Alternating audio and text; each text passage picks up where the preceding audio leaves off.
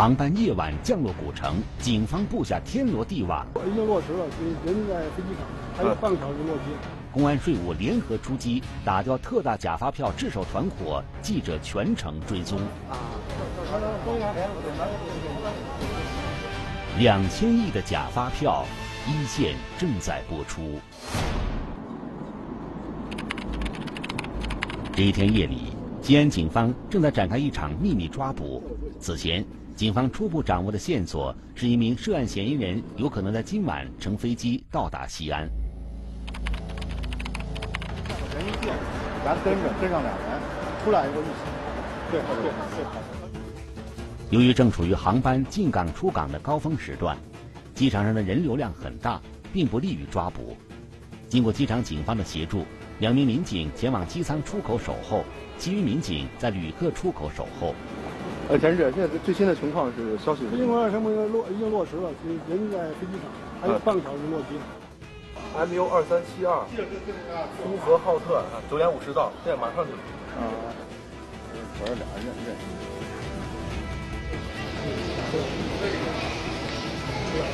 当晚十点多，民警在熙熙攘攘的旅客中发现了犯罪嫌疑人。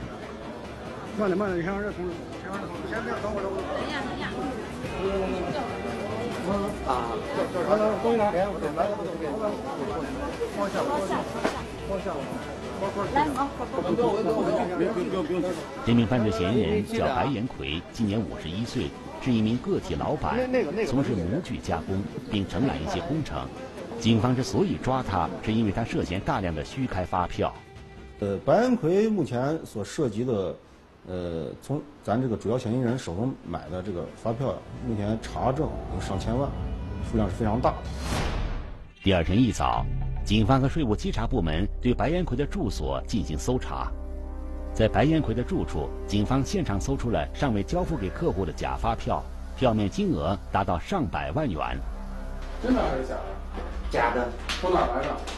从一个叫叫叫刘刘什么刘涛嘛什么的，电话电话。这个人，这刘涛这个人是哪儿的人？我也不知道，他就在那个，他就在。短信上给我发个信息，然后他在没在西安？啊，在没在西安？应该在西安。白延奎交代，刘涛这个人和他已经合作了三年多，最初是通过手机上收到了垃圾短信建立起的联系。由于购买假发票可以大量的偷逃税款，白延奎便一发不可收拾。那你像这个二十万这个票面金额，你你付了多少钱？这个就两千块钱。百分之一，你钱都是咋给他打过去的？有时候各个账号，有时候人过来个人，嗯，叫叫摩托车把他过来，直接信封那就拿走。白延奎说，这几年来，虽然跟卖假发票的刘涛频繁打交道，但是却从未跟他见过面。交钱交货的方式通常是网上转账和包裹快递，或者是通过一个神秘的中间人，专门送票的一个摩的司机，专程去送票。在送票过程中比较隐蔽，见面提前沟通好在那见面，也不对话，一手交钱一手交票。很显然，白延奎只是犯罪链条上很小的一环，在他的背后还隐藏着许多不为人知的秘密。而对这个犯罪链条的调查取证，税务稽查部门早在2013年就已经开始行动。我们在去年专门开展了春轮行动，在春轮行动里边呢，我们重点打击的是买方市场。在打击买方市场过程中，我们就发现有许多的发票来源于同一个团伙。当时税务部门将掌握的情况反映给警方，巧合的是，警方当时也已经对涉税犯罪展开了秘密调查。在去年的下半年，在西安集中爆发了很多手机的垃圾短信。里面有很大量的这个代开发票的信息，还有街头的一些散发名片。在调查这些垃圾短信的来源时，民警发现，虽然发短信的号码各不相同，但是这些号码却有一个共同之处：手机信息全部是虚假，用虚假身份证或者虚拟人，呃，去申请的这种手机卡。根据以往的办案经验，西安本地的假发票大多是从南方的一些省市流入，因此。警方对假发票的来源进行重点侦查，通过呃对这项重点地区的侦侦控，就发现了有假发票，就是说寄寄到就是咱西安市。发票来源是从广东广州过来的，邮寄给他邮寄过来这个空白假发票。警方发现，平均每个月都会有一批空白假发票从广州发到西安，而取票的人是一个名叫张立足的中年男子。不过，通过信息比对，狡猾的嫌疑人用了一个假名字。对外宣称的身份从来不不说自己的名字，而且他能记记清，他他可能面对 A 公司，他说是自己是老张，或者是张总；面对 B 公司是王总。通过一段时间的侦查，警方发现与张立足在一起的还有一名中年女子，此人几乎每天都会和一个摩的司机联系。他就把这个假发票放到信封里交给摩的司机，摩的司机送到以后。把就是呃要票人把就把所谓的酬劳吧交给摩的司机，再再交给他。呃，交易过程非常迅速，我们中间也经营几次，就是也跟了几次，俩人见面就跟好像就跟问个路一样。在今年年初，警方化妆成购票人与张玉祖取得了联系。这个嫌疑人有时叫张勇，有时叫刘涛，但警方最终确定此人名叫金敬敏，浙江台州人，今年五十二岁，暂住在西安市西后地的一个小区里。与他在一起的女子对外叫吴莲，实际上真名叫张平，而那名摩的司机与金敬敏住在同一个小区，是那里的常住户，名叫冯明，负责给客户送票并收款。为了掌握更多的犯罪嫌疑人，警方并不急于对金敬民等人实施抓捕，而是采取放长线钓大鱼的策略，继续进行侦查。他主要是拿以群发信息这个手段，向社会。呃，不特定人群，呃，进行发发布，发布完会有有一部分人呢，很快会有需求的情况下给他联系，在这个基础上，他固定了一批相对的客户。经过一段时间的侦查，警方锁定了三个购买假发票的大户，分别是白延奎，男，五十岁，是一名个体包工头；李雄飞，男，五十四岁，某企业负责人；李瑜，男，三十岁，某企业负责人。其中，白延奎是金敬敏最大的一个客户。白延奎就是这这个人名下有好几个公司，呃，公司之间就是互相倒账。仅仅我们就侦查跟踪，发现的是，呃，给他送票大概送了有二三十次，这也是一小部分。除此之外，警方在侦查中还发现了一个奇怪的现象：有一名老年男子长期从金敬明那里大量的购买假发票，但是此人并没有工作。名下也没有注册公司，发现他长期往这个人跟前送，呃，这个所谓陈就这个陈中华，发现他不对不特定人群进行送票，然后当时初步估计他就是个，因为根据侦查经验，应该就是个中间人。中间人，他也是抓住了犯罪嫌疑人这个心理。我每回从这儿买票的时候，你不会问我我是要这个票做什么的，我再通过我自己在街头可能散发名片，或者我通过那个网上宣传的方式。他在从中挣这个差价。经过近半年的侦查，警方掌握了这个犯罪团伙的主要人员信息，收网行动即将展开。但就在四月九日，警方部署收网的当天，突然传来了一个消息：购买假发票的大户白延奎当天突然离开西安。发现他四月九号早上坐飞机到呼和浩特，买的是往返机票。四月十三号，呃，晚上十点，应该从呼和呼和浩特。返回。考虑到白延奎是一个生意人，此前也经常往来于全国各地，并且这次他订的是往返机票。专案组民警估计，他这次离开西安是一次计划内的正常出行。因此，对于白延奎的抓捕，警方决定在他四月十三日返程时在机场实施。对其他犯罪嫌疑人的抓捕计划不变。这个人叫做陈中华，外号叫老周。今天。冯明儿，咱三号人物，冯明儿送票就是给给这两口送票去。陈中华就是警方之前掌握的那个中间人。此时，警方已经得到准确的消息，他将在第二天上午去参加一场婚礼。八点半左右在那个班坡公交车站见面，接接另外一个，就在班坡公交车站接另外一个人，接另外一个人一块去参加另外一个朋友的婚礼。第二天一早，侦查员就来到了半坡公交车站。准备对陈中华实施抓捕。考虑到陈中华要接的朋友有可能乘坐公交车前来，一名侦查员守在公交车站，其余侦查员在周围观察。然而，半个多小时过去了，仍然不见嫌疑人出现，也没有发现可疑的车辆。难道嫌疑人突然改变了计划？我现场情况呢，就很不清楚。在这个时候呢，我们这个这个当时也有点灰心，就是有点失落这种感觉。上午九点十分左右，马路上出现了一男一女，引起了侦查员的注意。从路边走过来的，好像是这个，这个就是一个穿着红衣服一个女的。我从我对面过来，这个相对年龄偏大的一个一对男女。因为这个女的呢，穿了一个枣红色的这个上衣，这个妇女穿得很轻，我估计可能，我判断她可能是去参加婚礼的。侦查员立即跟随这两个人，发现两个人大约走了一百米后，上了一辆黑色轿车的后排。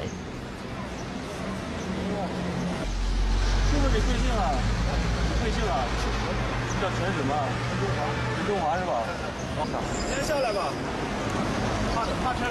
别上啊！趴车了，趴车了。趴，说话了。在抓捕陈中华的同时，专案组在当天分成了七个小组，对涉案的十一名犯罪嫌疑人分头展开抓捕。上午十一点，购票大户李瑜和李雄飞分别落网。警方在两人的公司分别搜查出若干张已经制作好的假发票。当天下午五点左右，在两名主犯住处蹲守的民警发现，犯罪嫌疑人张平一个人从外面回来，金敬敏并没有出现。民警决定待张平进屋后，先将他控制起来。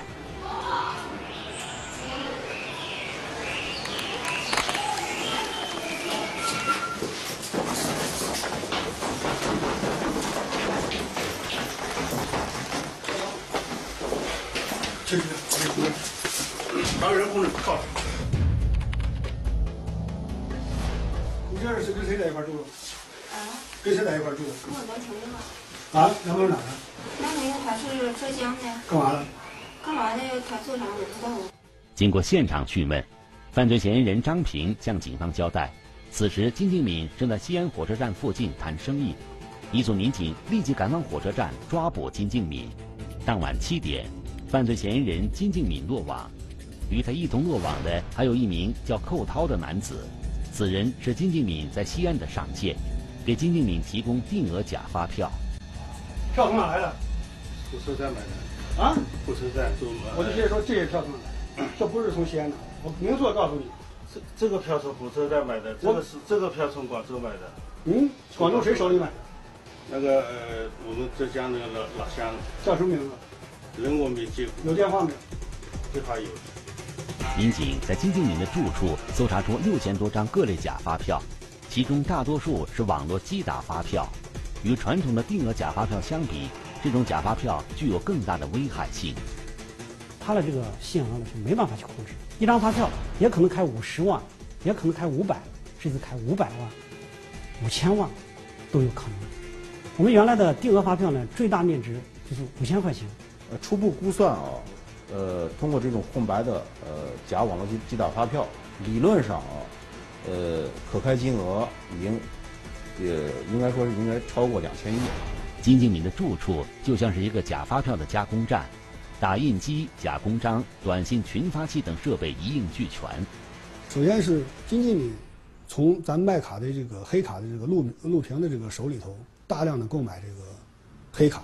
即通过他的这个群发器向社会不定的人群那个发布信息。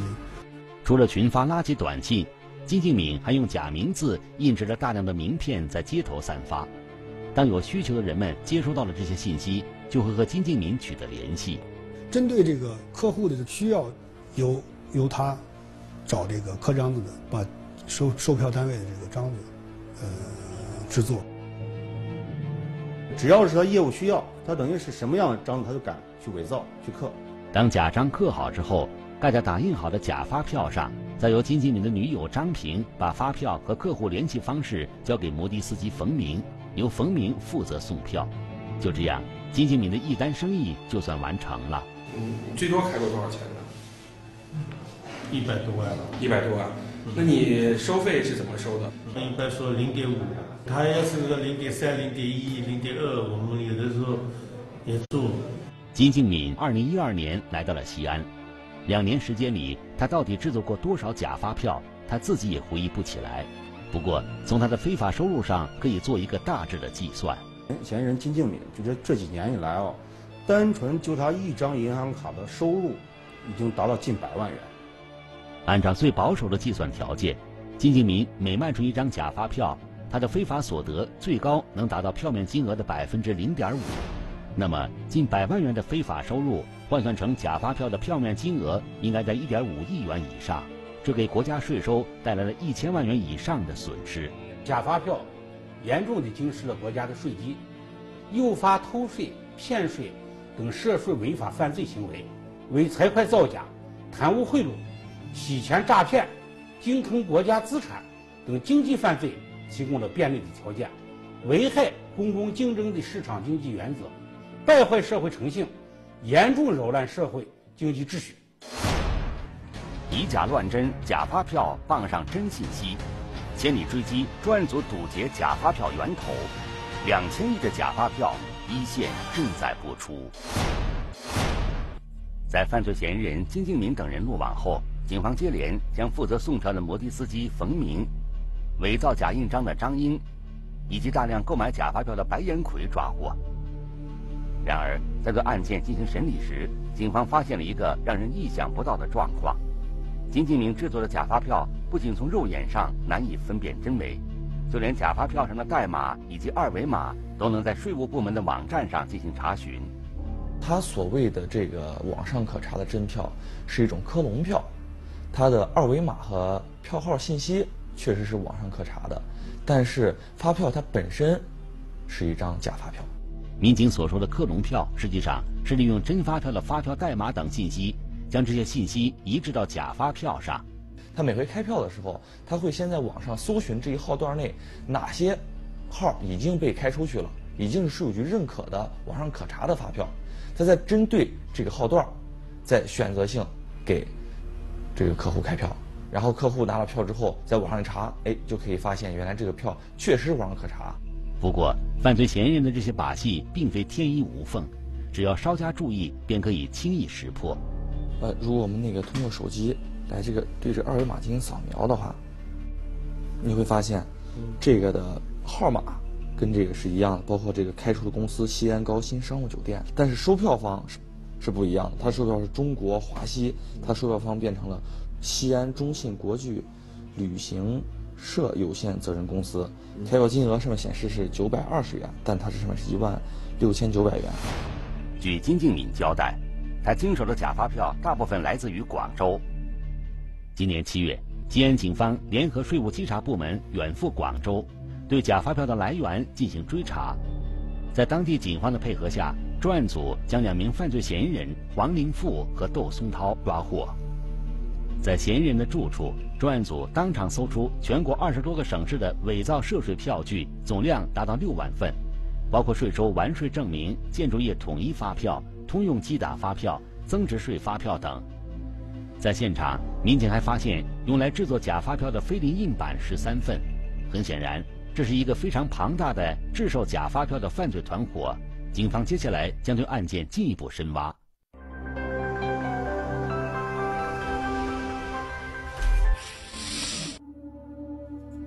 二零一四年七月十二号，对于在天津静海县唐官屯镇做机械加工生意的李先生来说，至今都难以忘记。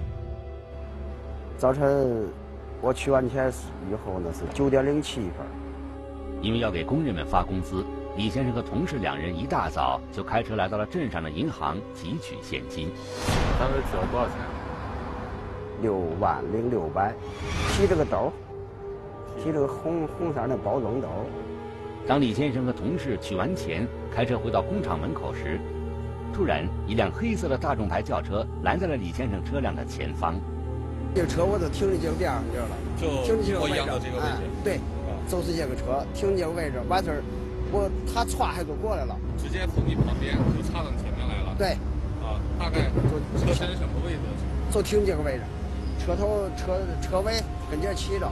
车头在那儿，超过我们这一车吧。嗯。面对突然停靠在自己前方的车辆，李先生很是纳闷儿，并提着从银行取出来的钱下车查看。我寻思是那个谈业务的了，找找我厂的干订活是干嘛的？李先生回忆，当时那辆黑色小轿车前排座位有两个人，而当自己靠近对方车辆副驾驶位置时，车门突然打开了，副驾驶上的那个陌生男子拿着一把刀，快速从车内出来。我下车，他还没下车，他蒙着面具，正好走进他这个门口去，他他歘就下来了，也是，哎呀，十十了十了多秒钟的事儿吧，这特别快。嗯，下来以后他举起刀了以后，不把去把包拿过来，就这种，完事把包就抢了，抢了歘一跟头就，锁开门坐车就跑了。面对突然发生的一切，李先生还没来得及做出反应。六万多块钱就被全部抢走，这我都吓傻了，啊！过好几天完事儿，我还一寻一子弹一停车，这儿一停，我心儿都扑那样。当时吓傻了都，嘛也不知道。当李先生意识到钱在自家工厂门口被抢后，马上叫人一起对嫌疑车辆进行拦截。开车子上前走了，上前走到那边又绕过来了，到前面那个桥那儿就。转过来了，转过来，我们车最顶那前头那有个道口。然而，当嫌疑车辆再次靠近李先生的时候，面对车内一名陌生男子的举动，李先生只能放任嫌疑车辆慢慢消失在自己的视线里。驾车的这个嫌疑人拿出一把手枪来，指着被害人，说了一句：“再追我，开枪打死。”当静海县唐官屯镇派出所民警赶到现场后，嫌疑车辆早已不知去向。除了受害人李先生对于两名嫌疑人的外貌特征描述外，办案民警在现场也没有提取到任何有价值的痕迹物证。身高都在一米七五左右，两个人呢都戴同样的黑色棒球帽，戴同样的口罩。其中一个人体态稍胖一些，短发，眼睛比较大，皮肤比较白，脖子上戴着一条比大概一指粗的金项链。他的说话呢是本地口音。针对嫌疑人的外貌特征以及带有本地口音的特点，办案民警立即对辖区范围内可疑人员进行排查。查了一下，符合这种体貌特征啊，有个类似前科的这种嫌疑人，然后排查了在周围附近村了，哎，有没有没有这种异常反应啊？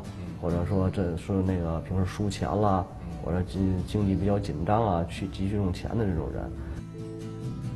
与此同时，办案民警还通过天网监控查看嫌疑车辆的逃跑轨迹。奔青县的方向的那条路上，再往后坐的话，就没再坐，就那个视频监控啊，就出现盲区了，看不见了。通过调取各路口的视频监控，办案民警发现，嫌疑车辆在案发后不久就驾驶无牌车辆出了静海县，进入河北青县。通过这个很长时间的比对，仍然没有发现这两名犯罪嫌疑人，所以这个车和人就在我们警方的视线中消失了。而针对辖区内的排查，办案民警也没有获取关于嫌疑人的线索，基本上就是陷入了僵局。光天化日之下，嫌疑人公然持刀抢劫，这给唐官屯镇派出所民警带来了巨大压力。这种案件在辖区的影响。这个负面的影响是很大的，呃，你你是老百姓的安全感，呃，受到了挑战。通过走访和对嫌疑车辆逃跑轨迹进行追踪，却没有得到有效线索。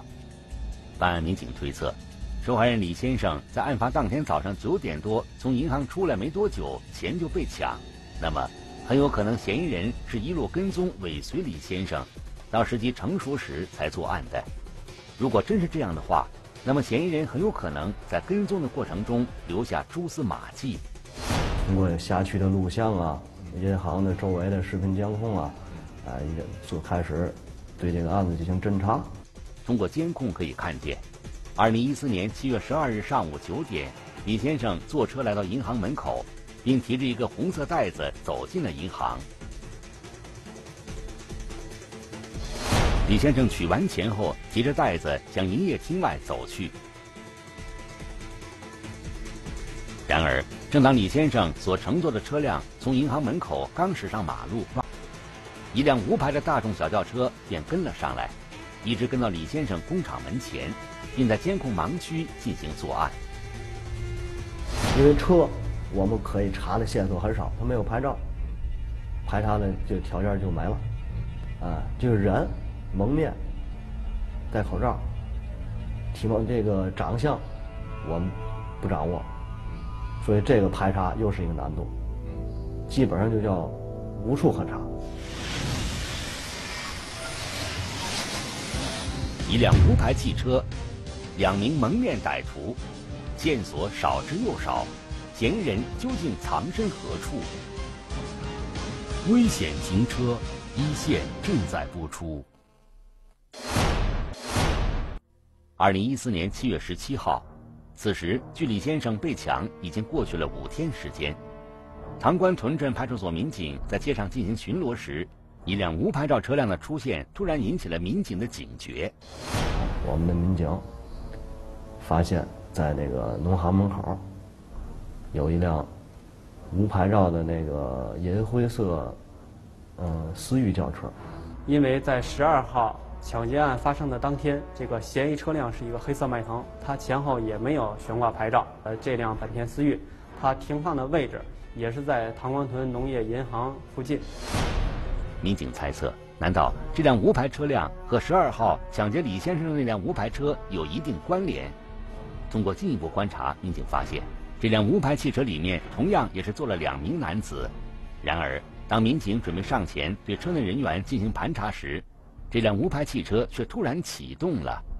这个举动就引起了我们民警的警觉，我们就怀疑这个车是不是就是十二号抢劫案的。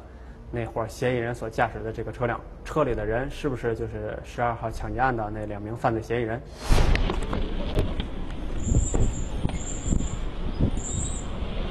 到了。这个嫌疑车辆不顾民警的命令，依然选择倒车，想要逃离现场。这个时候，我们民警果断的出枪，命令这个嫌疑人立刻下车。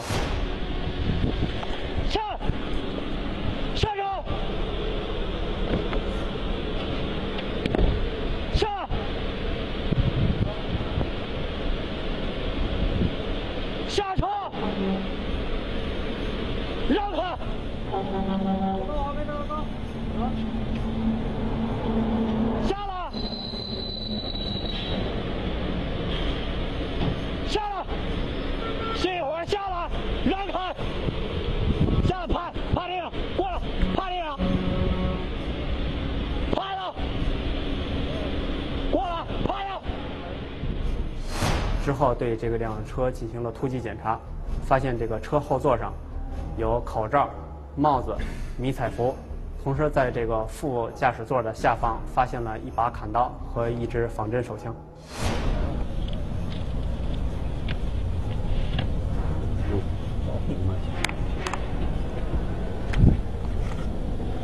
这个基本上我们就心里边很高兴了，虽然说没露出来，我感觉这就是。嫌二的嫌疑人了。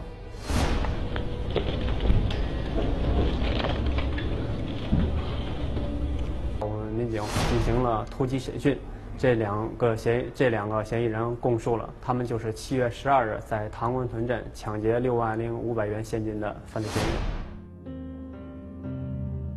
他叫杨学金，今年三十三岁，河北沧州市清县人。面对办案民警，杨学金悔恨地说。要不是因为欠有高额赌债，自己无论如何也不会做出这样的事情来。这赌不可赌？赌？嗯，在老家赌博？对。一般最多一天输赢有多大？嗯，不多，嗯，一一一要一万左右。据杨学金说，自己原本在老家清县的煤矿上开货车，收入还算不错。可自从赌博后，有时一个月辛苦赚来的钱，仅仅几个小时就会全部输光。输钱老老寻思，老想着赢回来，结果越越越越玩输越多。为了筹钱还赌债，同时寄希望于靠赌博翻身，杨学军想到了通过抢劫来获取赌资。我说你为什么抢劫？因为我输钱了。玩在那个赌局上输钱了，欠高利贷了，又赌博引起来的想着想法抢劫。杨学金说，在跟踪抢劫的过程中，自己主要负责开车，而下车进行作案的是自己的一个同乡，叫张国建。他就是张国建，今年三十岁，河北省青县人。和杨学金一样，张国建也是因为赌博导致倾家荡产，从而走上了犯罪的道路。呃，杨学金原先就提出来过，就说了，就后来我们俩一拍即合，就说不行就抢点。张国建说，他们从河北青县来到天津静海县作案，并没有事先踩过点，选择来到静海主要原因是离老家近，交通方便。也是随意的吧，走到那儿就说上唐王屯银行找找个银行，找个大点银行。张国建说，他们和受害人李先生并不认识，之所以选择李先生进行作案，是因为在蹲点的过程中发现李先生随身携带了大量的现金。正好当天呢，就七月十二号，这个这个被害人去取钱。嗯，正好他们去取那个大宗现金，被他们发现了。当时来这个取钱的，拿着个塑料袋儿，我一看就是肯定是取钱的。出来以后就尾随他们。嗯。出来之后能够看到他塑料袋里面钱明显变多了。嗯，明显变多了，看有像几万块钱的意思。当时他开个车。对，尾随着。杨学金和张国建两人开车一路尾随李先生的车辆。当开到一家工厂对面马路，李先生的车突然靠边停下后，张国建等人觉得作案时机已经成熟。如果他不停车的话，他直接，因为他不就在旁边的工厂吗？直接开进去了，你们还能抢吗？不抢了，抢不抢了？啊，因为抢不到了。啊，在作案得手后，发现李先生一直在想方设法截停他们的车辆。杨学金顺势掏出了一把枪。他像是个坏的，三四年了吧，在外地路过买的。它都是那种打塑塑料子弹、小塑料子弹的柱子那种。事后，两人驾驶无牌大众汽车逃回了老家青县。这一车你分了多少钱？嗯，平分的。平分的，分了三万。对。然而，距作案仅仅五天时间。杨学金和张国建两人却又驾驶无牌车辆来到静海县唐官屯镇。反正就是就是瞎转，就转停那，完了就睡觉了。你们瞎转的目的是什么呢？哎，还是碰碰吧。嗯，还是有那种心理碰一碰。嗯。可令杨学金和张国建没有想到的是，这次他们停靠在银行附近的车早已被民警盯上了。当时看到警察来了，紧张了。紧张，我一看完了，待着待待都完了呗。同时，通过办案民警深挖，杨学金和张国建两人还交代出另外几起案件。他们交代，在此前，他们还在河北省一家烟酒店抢劫了四万多元现金，同时还他们还准备实施一起绑架案，但是没有成功。他们车这两辆车都是从青县青县县城的那个汽车租赁公司租的。非常对不起他们，给他们造成这么大损失。说说一千个对不起也也晚也晚了，总是对对对对对不起他们吧。嗯，现在联系不到外面，肯定是想妻离子散吧。后悔吗？后悔。虽然案件得以告破，可案发时所受到的惊吓，却在受害人心里留下了深深的阴影。就往以后注意呗，对，有吸取教训。你从车里这个出来以后，就到达一个你能有效控制的一个空间里下车。那你比如说你进了工厂的院子，一般的这个你像这种尾随银行取款员的，他不可能追到你院子里去抢。如果你确实因为这个取的现金的数额比较大，呃，怕出意外，可以跟我们公安机关联系，我们呢增派警力，呃，陪同你去取款。